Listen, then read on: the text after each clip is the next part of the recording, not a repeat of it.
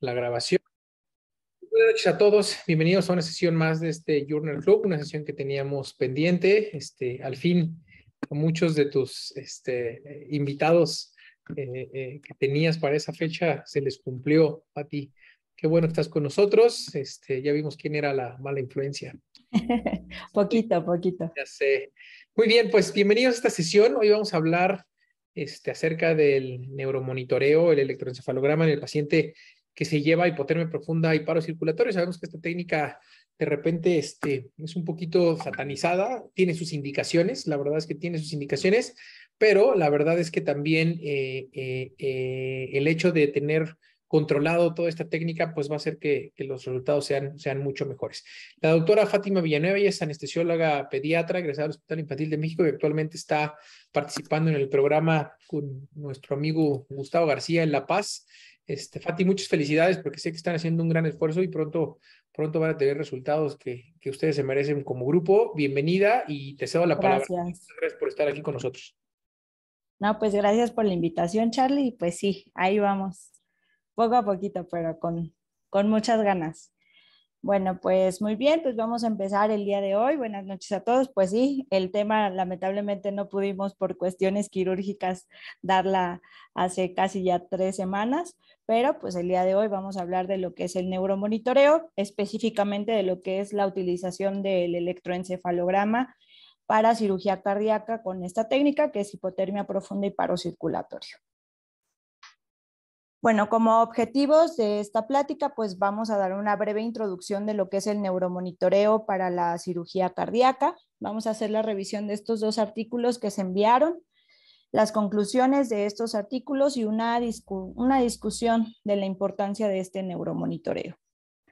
Bueno, como sabemos, el neuromonitoreo pues no es algo tan reciente, sin embargo, a nivel de la población pediátrica pues aún todavía no se tiene tanta utilización lo principal es que el neuromonitoreo que empezamos en nosotros durante el procedimiento quirúrgico fue para la valoración de la sedación, de la técnica anestésica que nosotros estamos ocupando, en este caso una anestesia general, el manejo de los anestésicos que nosotros tenemos para también con ello disminuir dosis excesivas de algunos medicamentos y con ello también tener una extubación temprana del manejo de todos estos pacientes. Ahora bien, para la cirugía cardíaca, pues se ha implementado como una medida de vigilancia y de protección para la valoración neurológica y con esto ver tanto la función como la perfusión ya que como sabemos los eventos neurológicos posteriores a una cirugía cardíaca tienen una incidencia hasta del 6%,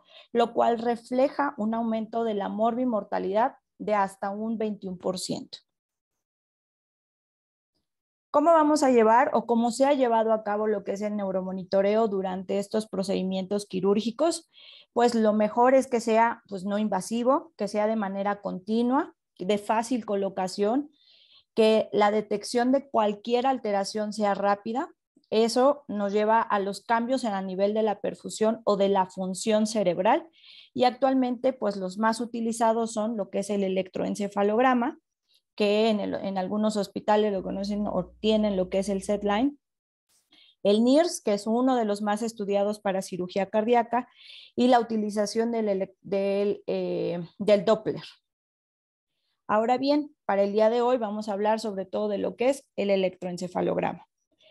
Algo muy importante y como nosotros como anestesiólogos también actualmente es la eh, estar valorando el paciente con esta técnica, pues es ver el tipo de ondas que nosotros tengamos. La mayoría de los centros que tienen este tipo de monitoreo no solo van a ver ondas, sino que tenemos números. Sin embargo, la valoración de las ondas que se presentan durante el procedimiento es lo más importante. Ahora bien, también es importante que sepamos el tipo de ondas que se van a tener de acuerdo a la edad del paciente. En este caso, como podemos ver del lado izquierdo, tenemos las ondas que son normales, beta, alfa, teta y delta. Estos sobre todo nos van a hablar del paciente despierto hasta el paciente profundamente dormido. Y el del lado derecho, la imagen, pues son las ondas que son de mayor proporción durante la edad del paciente. En este caso, para pacientes que son de recién nacidos hasta 24, 24 meses, la presencia de ondas delta es más de lo normal. A nivel de 2 hasta 6 años, las ondas teta son predominantes, de 6 a 12 años son las ondas alfa y por último, de los 12 años en la población hasta población adulta, pues las ondas beta. Y esto es muy importante de que nosotros reconozcamos también para la utilización de este neuromonitoreo. Ahora sí, vamos a hablar específicamente de estos dos artículos. El primero nos habla de la utilización de la hipotermia profunda y paro circulatorio en la población eh, pediátrica que va a entrar a cirugía cardíaca, pero que llevaron la utilización del neuromonitoreo con el electroencefalograma. Fue una revisión sistemática y de metaanálisis. Como sabemos, la reparación quirúrgica de cualquier defecto congénito nos va a conllevar el riesgo a nivel cerebral. Y esto sobre todo en pacientes más pequeños. ¿Por qué? Porque es exactamente la etapa en donde tenemos el neurodesarrollo. Y por ello se han llevado o se ha buscado las mejores técnicas para la neuroprotección de estos pacientes. Y una de las técnicas que más se ha llegado, que se utilizó al principio, fue lo que es el paro circulatorio con hipotermia profunda. Sin embargo, actualmente también se tiene ya la controversia del uso de la hipotermia con paro circulatorio, pues también va a ser un incremento en el riesgo de lesión a nivel del sistema nervioso. El electroencefalograma, en este caso, se ha utilizado más a nivel de la población adulta y a población pediátrica casi no se le ha colocado, sin embargo, es o se busca una guía para ah, ver el descenso gradual de la temperatura que nos va a llevar a un mejor pronóstico del paciente. Ahora bien, ¿por qué? La presencia de crisis convulsivas es uno de los eventos neurológicos más frecuentes que se tiene en la población que pasa cirugía cardíaca. De estas, clínicamente solamente se detectan de un 4 a un 20% ya con el electroencefalograma, de manera subclínico, se detectaron de 5 hasta el 26%. Podemos ver un aumento de la detección por medio de la utilización de este, em, de este monitoreo. Bueno, el objetivo de esta revisión sistemática y metaanálisis se evaluaron todos los resultados después del paro circulatorio con hipotermia profunda con la utilización del neuromonitoreo con electroencefalograma en la población pediátrica. De los criterios de elección fue toda la población pediátrica menores de 18 años que entraran a cirugía cardíaca, que llevaran hasta una temperatura de 18 grados, pero sobre todo que tuvieran reporte del electroencefalograma. Se excluyeron todos aquellos los estudios que se llevaron en animales o que solo fueramente eh, reporte de un caso, aquellos que solamente hablaran de libros, aquellos que no tuvieran la información completa del monitoreo del electroencefalograma. La información eh, llevó cualquier tipo de estudio, año, tamaño de muestra, no hubo este, ningún este, interferencia con el lenguaje. Los resultados más importantes fueron los resultados del electroencefalograma, la mortalidad que se tuvo en esos centros, la presencia también de accidentes cerebrovasculares o de convulsiones. Y otro tipo de resultados adicionales que también se llegaron a reportar fue la presencia de una lesión medular espinal, fallas renales, reintervención por sangrado o que la estancia hospitalaria y de la terapia que tanto lo llevaron. De todos los resultados, fueron un total de 764 estudios. Sin embargo, por todas las cuestiones de que se duplicaran los estudios o de que hubiera desacuerdo entre los tres evaluadores de los estudios o que no cumplieran con los criterios de inclusión, nos quedamos con solo 19 artículos, de los cuales fueron 10 que fueron ensayos clínicos y 9 fueron observacionales. La mayoría de los estudios se llevó a cabo en Estados Unidos. El seguimiento de estos pacientes se reportaba desde 48 horas hasta 10 años, sobre todo en los pacientes que se evaluaron allá en Estados Unidos. Los diferentes diagnósticos que se tomaron en cuenta fueron CIA, CIB, eh, tetralogía de Fallot, atresia pulmonar y eh, síndrome de hipoplasia de corazón izquierdo. Ahora, ¿qué reportaron los, los resultados de todos los los estudios que se llevaron a cabo, en siete estudios con un total de 337 pacientes, solo 47 reportaron presencia de crisis convulsivas de manera clínica, ¿sí? Si podemos observarla comparado al lado derecho, la tasa de convulsiones por el electroencefalograma fue más alta, con una menor cantidad de pacientes de 275, con un total de 39 reportes de crisis en el electroencefalograma. Otro tipo de anomalías que específicamente no reportan en el, en los, en el, en el estudio, pero sí hablan que en siete estudios reportaron cualquier tipo de anomalía en el electroencefalograma. La presentación de alteraciones neurológicas en total fue de un 29.8%. Esto iba desde accidentes cerebrovasculares en un 2.7%, lesiones a nivel de materia blanca en un 38%, presencia de parálisis cerebral, la presencia de trombosis y estas trombosis solamente se reflejaron en dos estudios. En cuanto al desarrollo psicomotor, se habla de diferentes estrategias que también se trataron como de comparar con respecto a la utilización también de la hipotermia. Con respecto al manejo del pH, se hizo la comparación entre lo que es eh, la estrategia alpha-stat contra pH-stat. Sin embargo, no se encontró ninguna diferencia significativa. Con respecto a los diagnósticos, se hablaba que aquellos que tuvieran C y B que fueran manejados con alfa-stat tuvieron un puntaje más alto en cuanto al desarrollo neurológico, o sea, tenían menos repercusión. El diagnóstico del desarrollo psicomotor y desarrollo mental sobre, era mayor en la transposición de grandes arterias comparado con el diagnóstico de, de CIB y tetralogía de Fallot. En todos los diagnósticos, el índice del desarrollo mental es mayor que el índice psicomotor. Entonces podemos observar que realmente la, cuestión del coeficiente intelectual o la, la valoración mental es mejor que la motora en estos pacientes. A lo que sí nos refleja es que la prevalencia de mortalidad se va a incrementar hasta un 6.3%. Y esto lo reportaban solamente en seis estudios. Ahora, comparado con otro tipo de estrategias, de las estrategias que reportaban en el artículo era la perfusión cerebral anterógrada. Y con esta, al compararla, no hubo una diferencia con respecto a nuevas lesiones cerebrales. Sin embargo, sí se hubo un aumento en la presencia de infarto cerebral en un 33%. En cuanto a lo motor y cognitivo, pues realmente no tuvieron ninguna diferencia. Ahora, otro tipo de estrategia, que eso pues obviamente nos es más del equipo que tengamos nosotros a nivel de perfusión, la utilización de flujos bajos. Eh, no difería en cuanto al estatus neurológico, ni en el IQ, ni en la memoria, ni en el eh, desempeño académico del paciente.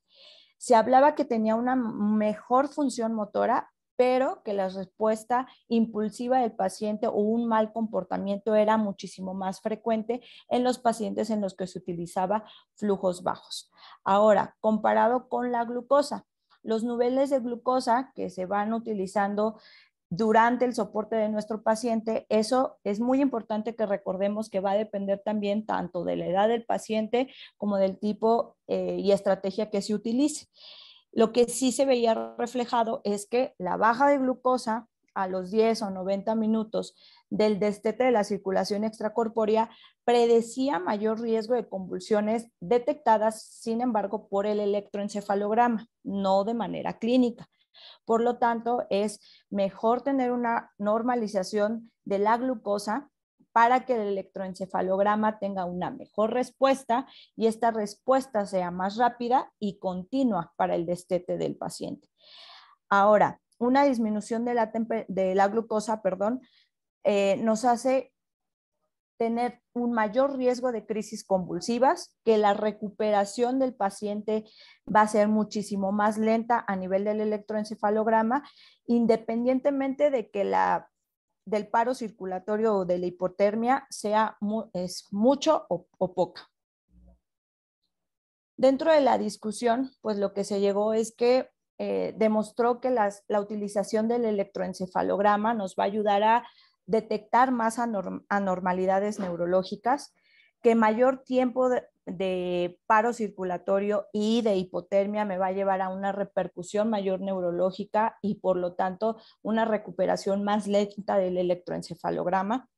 La presencia de crisis convulsivas es una, eh, un factor muy importante para que yo en el posoperatorio pueda tener más anormalidades neurológicas o retraso en el neurodesarrollo.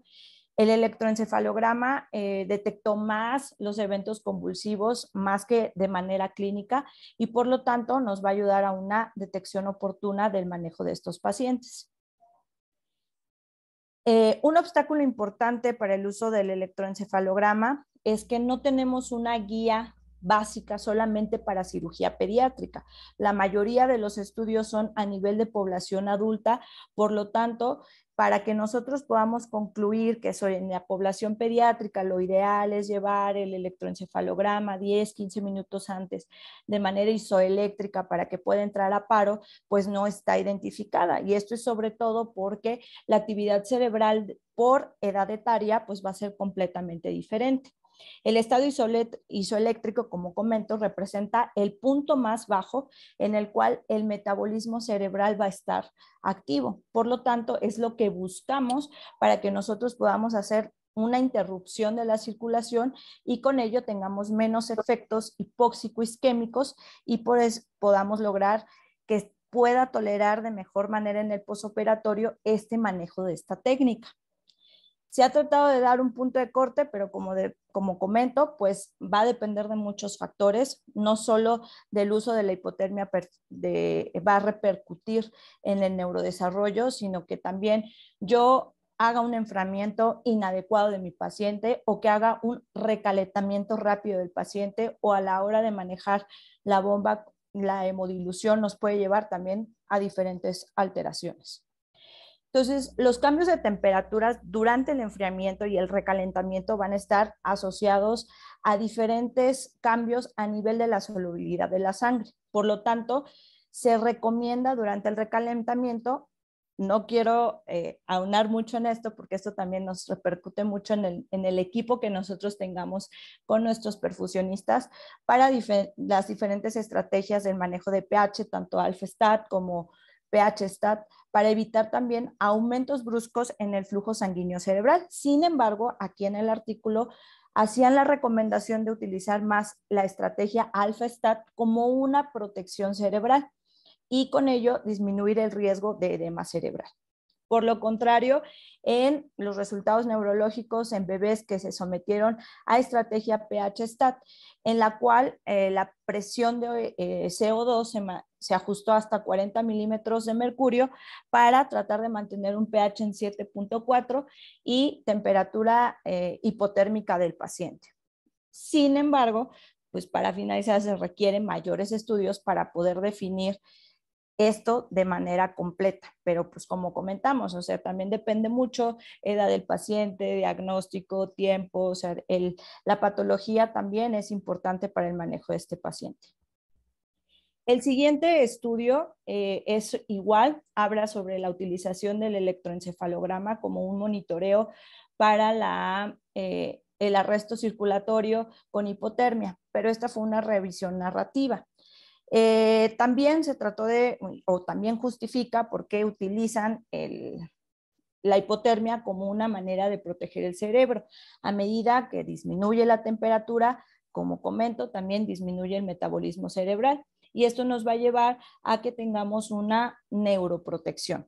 Sin embargo, el uso de otras técnicas que actualmente se tiene, como las diferentes técnicas de perfusión cerebral, que nos ayuda mucho el perfusionista, la neuromonitorización, los regímenes de, fármacos que nosotros podemos manejar como neuroprotección. Las alteraciones neurológicas pueden llegar a ocurrir y independientemente de que utilicemos todo esto junto. Y la razón de que esto suceda, pues realmente no tiene una razón completa.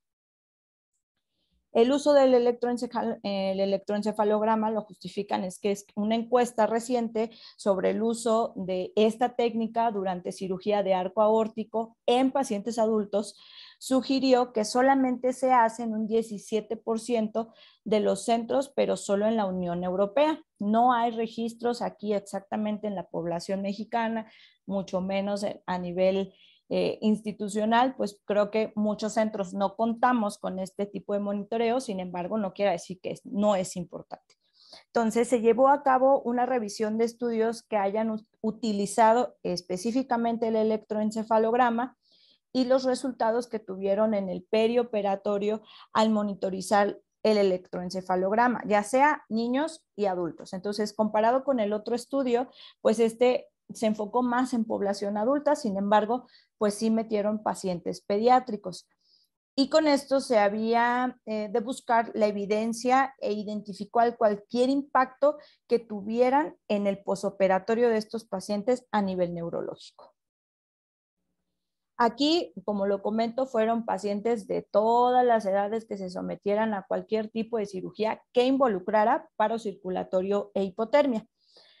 Los estudios que se evaluaron eh, fueron aquellos que tuvieran el electroencefalograma de manera perioperatorio, los estudios que compararan la monitorización contra la no monitorización también se llevaron, eh, bueno, entraron en este protocolo los resultados en el estado neurológico y la disfunción neurológica y eh, todos los estudios se llevaron o lo que se recolectó fue desde estudios desde 1985 hasta mayo del 2022.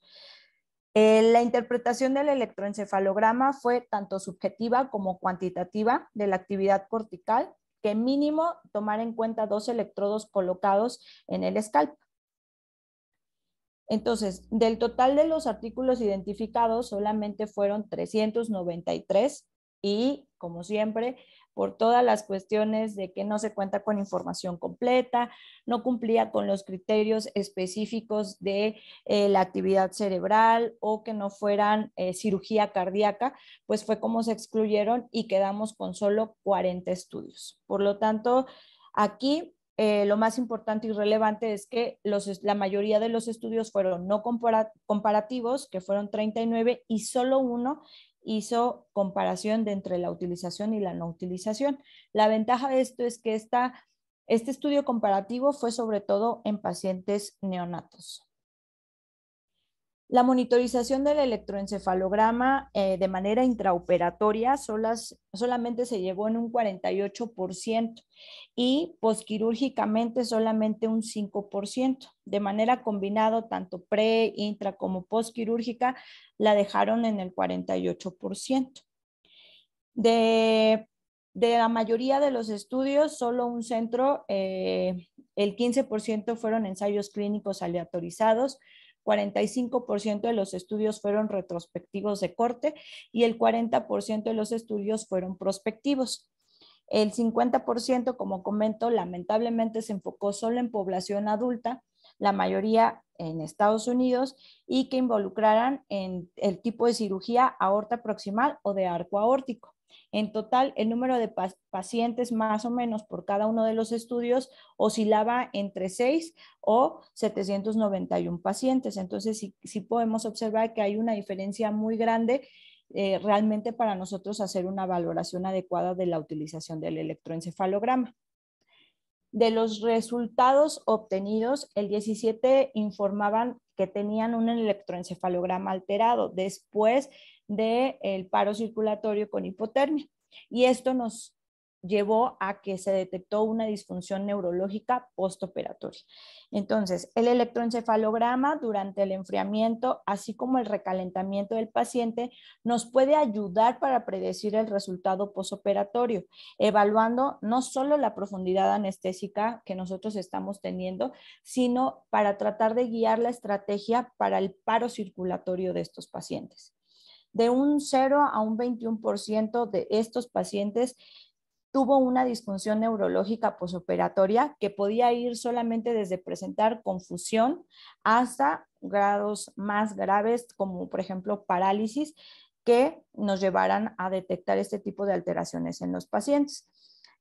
Utilizaron estudios clínicos y de imagen en la valoración de estos pacientes, desde lo más sencillo como la escala de valoración de coma de Glasgow, el examen neurológico completo de estos pacientes en el postoperatorio y técnicas de imagen, ya sea ultrasonido, tomografía y resonancia. Esto fue desde que estuvo pre, intra, post y hasta que se fueran de alta hospitalaria.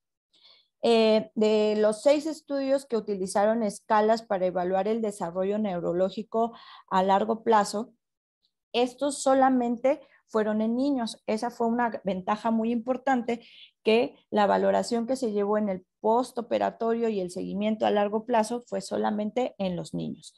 La mayoría de los estudios identificaron que tanto la presencia de crisis convulsivas como el aumento de alteración en el electroencefalograma, no solamente actividad leptiforme, sino que tuvieran alteraciones en las ondas, nos llevaba a malos resultados en la valoración neurológica postoperatoria.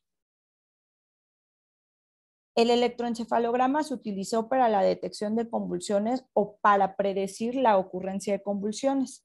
Como ya comentaba, solamente se detectaron de un 0 a un 21%, pero de todos estos fueron de manera subclínica. La presencia y la duración de inactividad electrocerebral antes del paro circulatorio fue usado solamente en 15 estudios y esto fue para tratar de dejarlo como un indicador de protección cerebral especial para el paciente. De los 14 estudios fueron en adultos y uno fue en neonatos. El estudio retrospectivo comparó directamente el resultado entre los pacientes que se sometieron con el electroencefalograma perioperatorio frente a un grupo control, pero no especifican exactamente.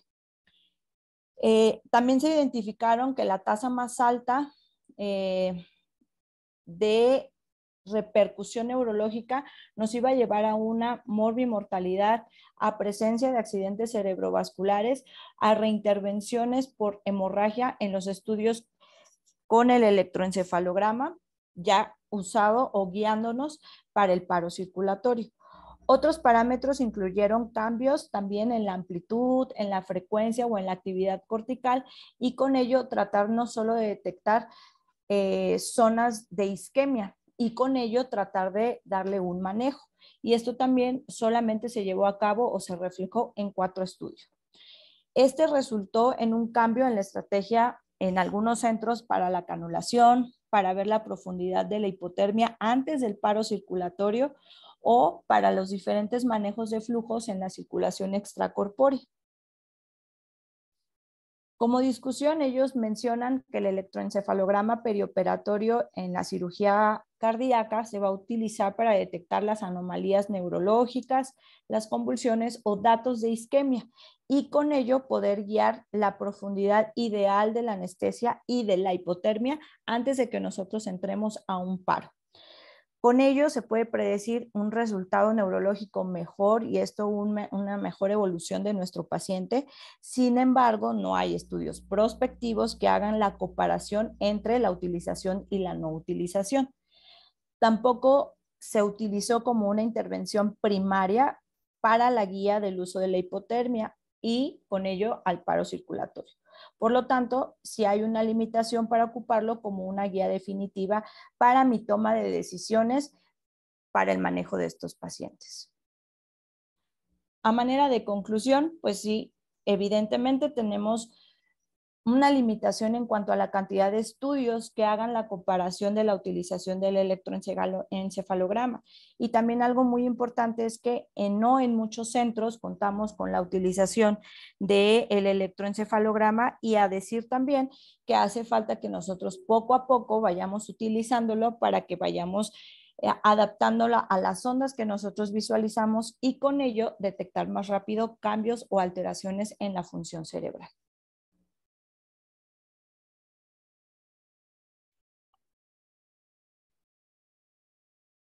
Muchas gracias, Fati. Este, pues la verdad es que una charla muy, muy interesante. Este, no sé si tengamos dudas, preguntas. Seguramente vas a tener ahí alguno de tus, de tus colegas. Doctor Soriano, adelante. Oye, pues buenísima charla. La verdad es de que para nosotros es muy importante esto y sobre todo si lo vamos a unar también al neurodesarrollo de los niños, definitivamente va a tener un alto impacto. Pero quiero preguntarte, este, digo, actualmente, digo, digo, hay muchas mm, formas de neuromonitoreo, pero ¿has sabido de estudios que tengamos este neuromonitoreo asociado a ultrasonografía Doppler transcranial, en donde midamos tal vez el índice de pulsatilidad, los flujos, este, y para el seguimiento de todo esto?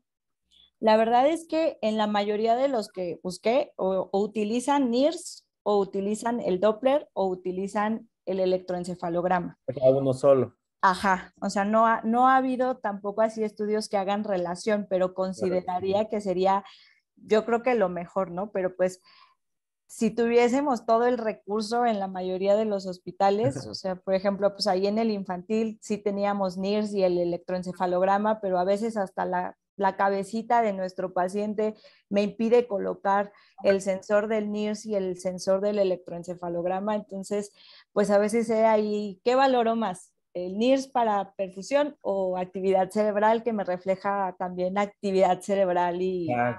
Entonces, creo que eso es algo también como que lo que nos dificulta un poquitito y también pues el contar con el recurso en, los hospitales. E, es que es lo más difícil, ¿no? El recurso, porque hasta en los privados sufrimos de tenerlo, o sea, el neuromonitoreo continuo, tal vez si ya pides el, el electroencefalograma completo, no te lo prestan. Entonces hay veces que tienes que usar el del monitor y nada más es sectorial, porque nada más te dice algunas zonas y ni siquiera tanto. Y el otro es el BIS, ¿no? El que es grande, que es como bilateral y que te habla de las dos cosas, de actividad cerebral y, de, pues del BIS propio, ¿no?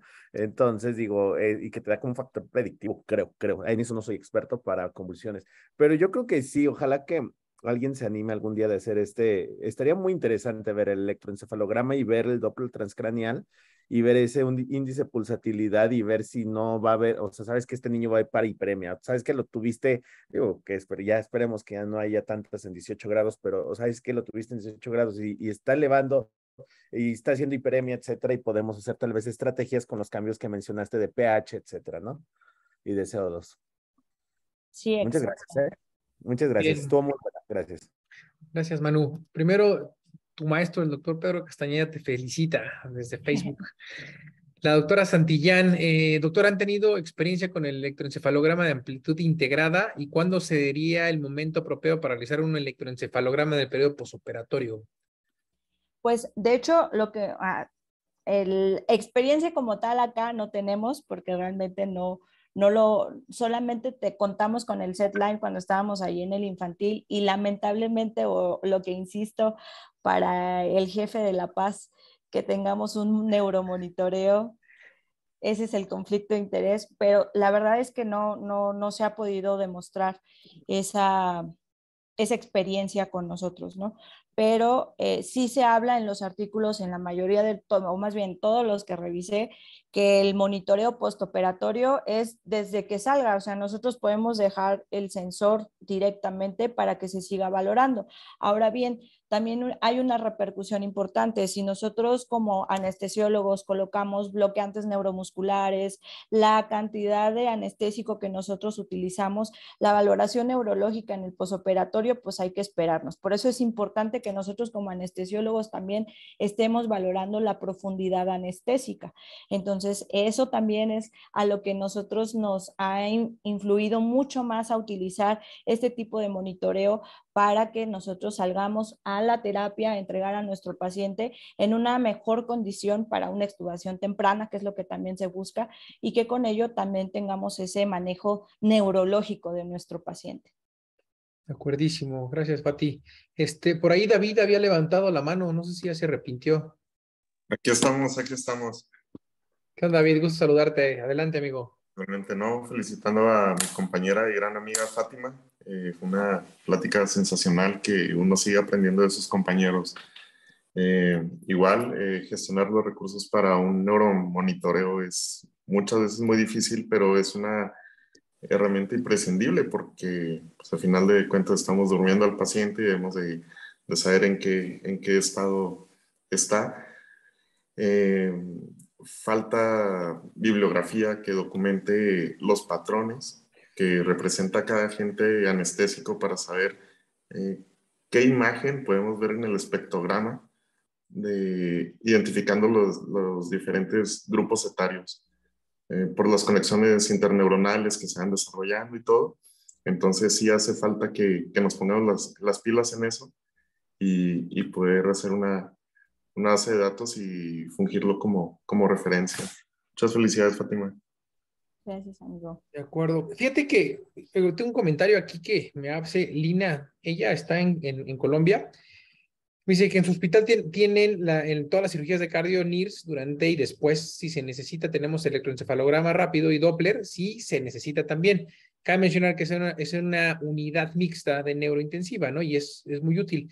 Pero lo que tú decías, Fati, y, y digo, a lo mejor Gus se va a enojar conmigo, pero creo que hoy en la actualidad hay programas que hacemos cirugía cardíaca, que hay cosas que deben de ser imprescindibles, ¿no? Y, y para mí, así como muchas otras cosas que nosotros manejamos en la, en, en, en, ya en el campo quirúrgico, perfusión, etcétera, yo creo que este tipo de, de, monitoreo es, es, fundamental. ¿Por qué?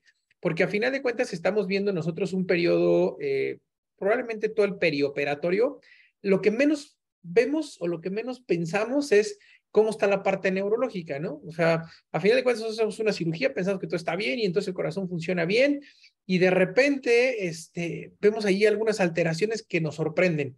Yo tengo una muy mala experiencia en un paciente que operamos, que tuvimos que canular vía cervical porque se, se a la hora de abrir el, el, el esternón este, tuvimos una lesión miocárdica, lo canulamos. Al parecer todo iba muy bien, ¿no? Pero al final el niño hizo un daño cerebral irreversible y, nos fue muy mal. Pero al final de cuentas, eh, eh, esto es, es, ya parte de las estrategias eh, de, de, prevención y de monitorización que creo yo que deben de ser imprescindibles. Por supuesto, por supuesto que desafortunadamente, bien lo decía Manuel, no nada más en el ámbito público, sino en el ámbito privado también, pues sufrimos, ¿no? Por, por estas cosas, pero, pero yo, yo voto a favor de esto. Y bueno, pues a final de cuentas también el, el, el, el, el que nosotros como, como cirujanos también pensemos ¿no? en, en esta situación eh, a veces estamos operando y estamos viendo el monitor y cómo está la presión y cómo está este, la saturación en bomba y, y, oye, ¿por qué, es, ¿por qué se desaturó? Oye, ¿por qué bajó la presión? Pero creo que este tema también de la parte neurológica la dejamos de lado, ¿no? Nosotros, nosotros en el aspecto. Muchas veces pensamos que, ok, una hipotermia profunda, a ver, es poquito y, ya nos prolongamos y otra vez, pero a final de cuentas, ese tema del, del estado neurológico, del neurodesarrollo en el paciente operado de cardio, creo que es un tema que al menos eh, deberíamos de, de, retomar para saber hacia, hacia dónde va en, cuanto al seguimiento. Muchas felicidades, Fatima, un, un, un, tema bastante interesante.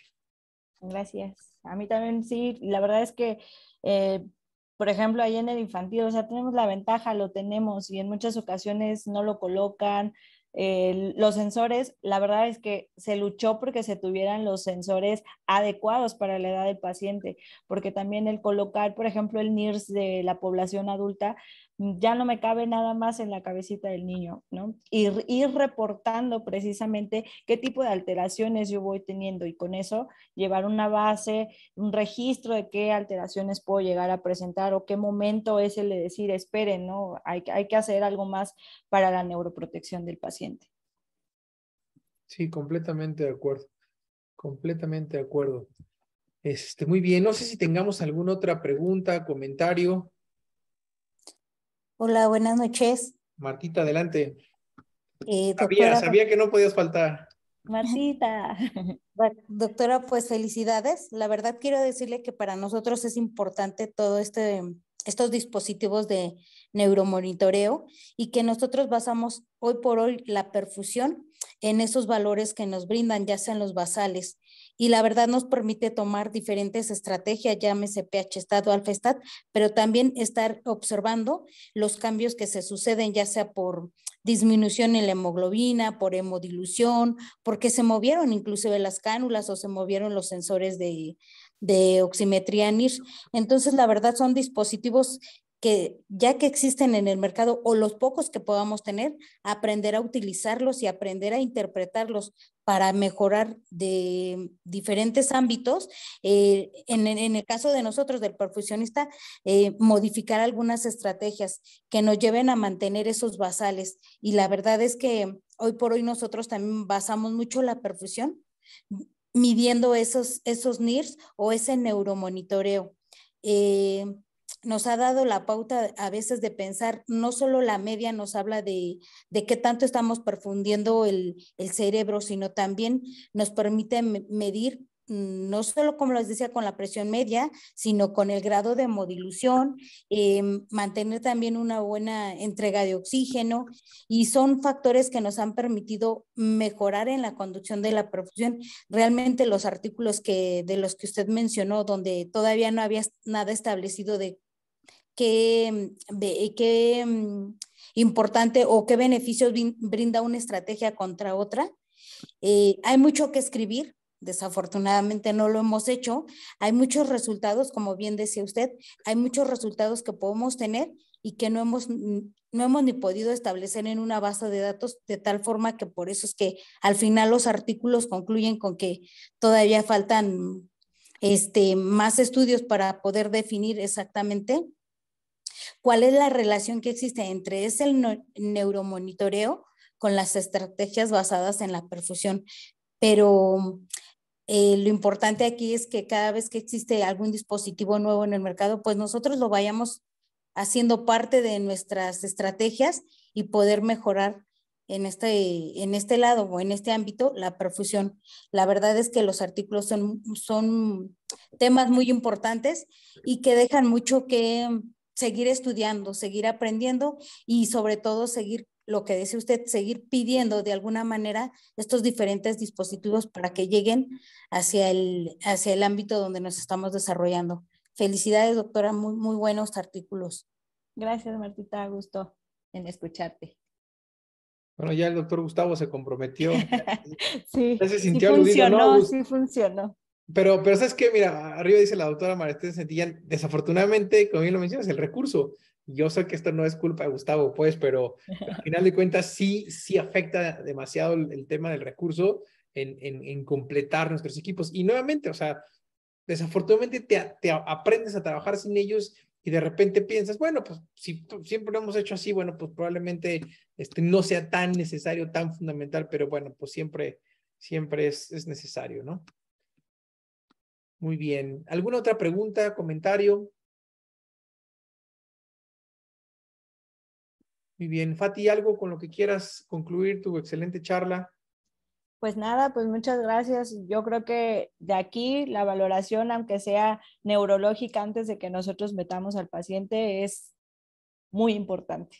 Ya, ya de acuerdo al manejo y todo lo que tengamos, pues ya el posoperatorio, aunque sea como lo mencionan los artículos de manera clínica, aunque sea, pues eso nos va a ayudar, ¿no? Pero sin embargo, pues ya vimos que la presencia de crisis convulsivas subclínicas es muy alto, ¿no? Entonces, cuidado con eso. De acuerdísimo.